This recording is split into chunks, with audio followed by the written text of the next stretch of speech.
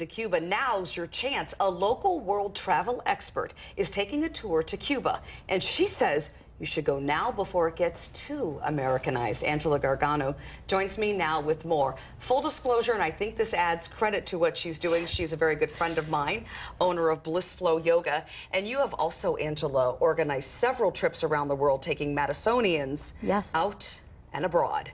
Yes, I've done several yoga and wine trips, which are a lot of fun to mm-hmm. Italy. We've done some to the Napa Valley.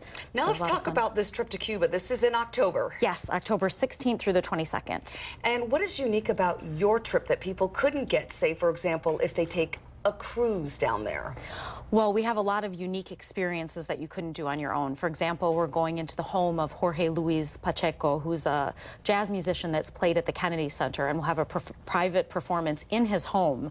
We'll get to meet him. Um, we do the same thing with the dance troupe, a flamenco dance troupe. We get to meet them, talk to them.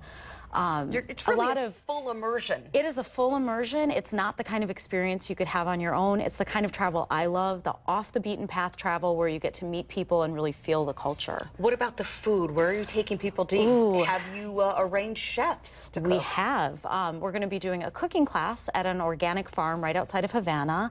And then in Cuba right now, because there are only state-run restaurants, there's the rise of paladares, which are homes that provide cooking. And there's a lot of innovative, really really fun cooking happening in those paladares. So a lot of our meals will be there. And what about seeing the countryside? Of course, when you go to these places, that will be amazing. But what about getting out and seeing the countryside? Well, we have one whole day in Hemingway's favorite fishing village, Cojimar.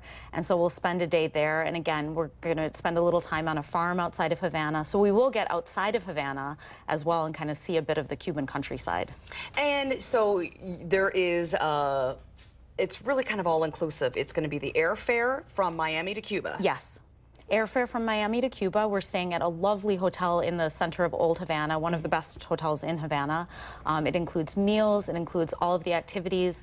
You'll have me at your disposal to help show you around Havana, as well as um, an expert in Cuban art and music who's Spanish speaking who will be with us. So lots of personalized attention. But again, I, it's that off the beaten path kind of travel, but you don't have to worry about the details because I'm taking you off the beaten path. That's right. and you're also helping uh, with all the government documents, all of the red tape you have to get through. Absolutely. Well, you know, now there's the impression that travel to Cuba is very open, but it's still in a state of flux. There are still a lot of visa requirements. You have to have a cultural, people-to-people um, reason for your trip, which we've taken care of. We take care of all the details on the ground. For example, um, American credit cards don't work in Cuba.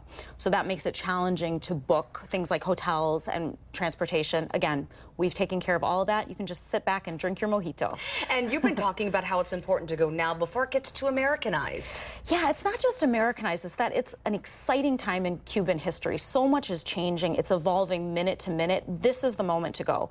And I really think it's the kind of trip that you're going to look back 30 years later and say, I was in Havana then. So I think now is the time to go. It's changing minute by minute. When is the trip in October? It's October 16th through the 22nd. And how do people get in touch with you, Angela, if they even just want to inquire about this? Absolutely. Just go to my website. It's angelagargano.com and click on upcoming trips, and all the info is there. Angela Gargano, thank you so much. We appreciate your time. This sounds like a very exciting trip. Thank you, Christine.